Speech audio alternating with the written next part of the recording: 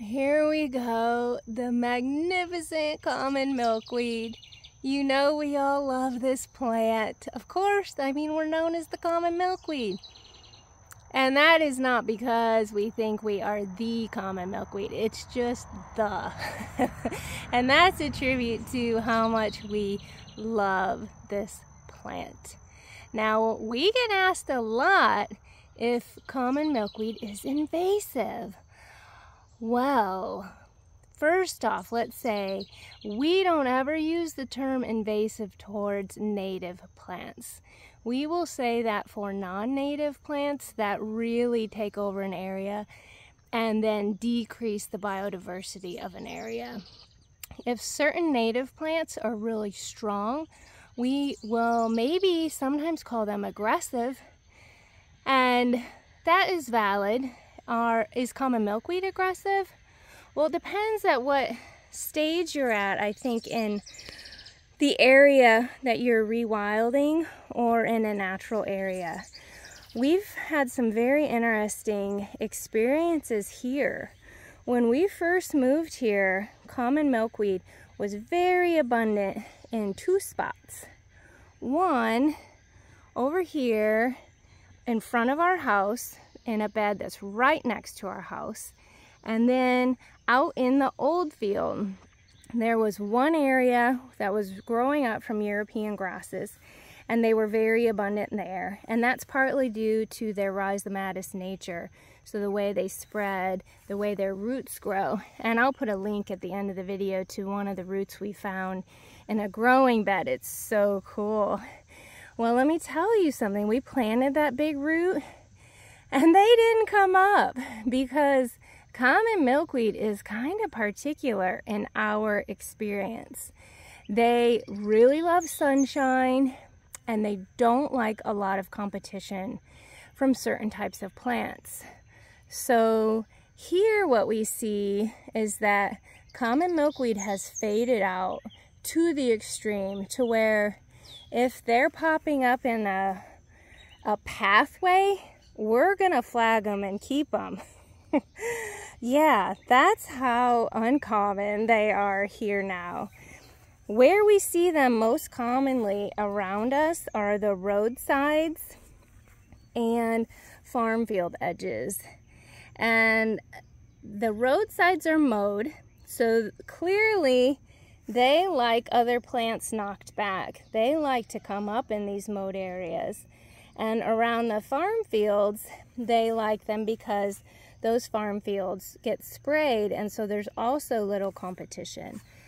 Both are problematic because at some point the roadside mowing crews are going to mow once the milkweed is tall and then usually all of the insects that love milkweed are on them and that includes the monarch caterpillars and so everybody gets mowed and then the farmers at some point are going to put insecticides down to protect the crops, the food that many people eat or animals eat. And that will also kill any of the insects that are on the common milkweed.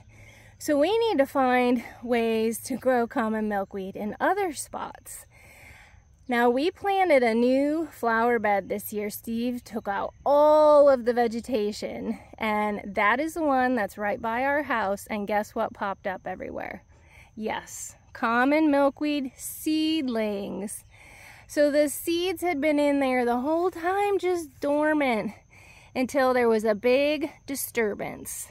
So that seems to be one thing that common milkweed really benefits from, disturbance. We've found some different documents about mowing at certain times to promote common milkweed, but that hasn't worked here. That mowing is one we won't do at that time anyways, uh, unless we've really scouted an area because it is nesting season for birds. But our pathway mowing seems to be the right timing. So we are working to figure out how we can keep encouraging them. What we will do is obviously let all these grow and smell them as much as possible because their scent is fantastic.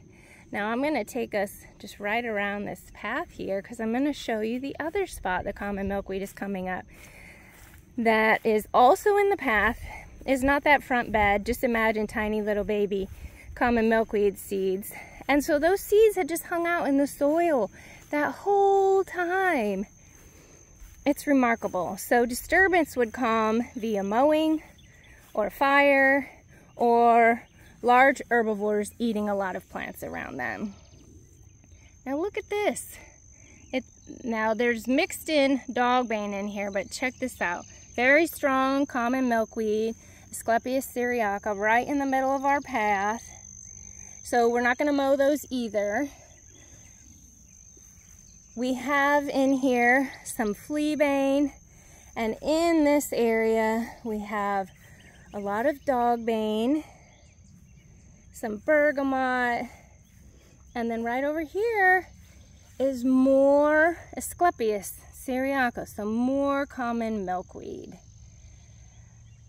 It's kind of a puzzle to us, y'all, so they seem to be able to compete well with those European grasses. Now, sometimes we do see them with the aggressive goldenrods, the tall, the giant, Canada, and they're fine. I'm not sure why. So do we think common milkweed is invasive? No. Do we think it is aggressive? Maybe sometimes early on, especially if you're doing something that they love, like roadside mowing or spraying a farm field that promotes those disturbance and also the lack of competition. In other situations, I think you're going to find out that common milkweed fades out. That's what we've found. If you have found a way to let common milkweed grow, to promote it growing, and to keep it very resilient, please let us know. We would love to know. And if you're one of those folks that have them abundant in a bed because you're weeding it a lot and you don't want it, then stop weeding it. And I bet you the common milkweed is going to fade away. But if you're one of those people and you decide to just embrace it, do it because you're so lucky. Thanks, everybody.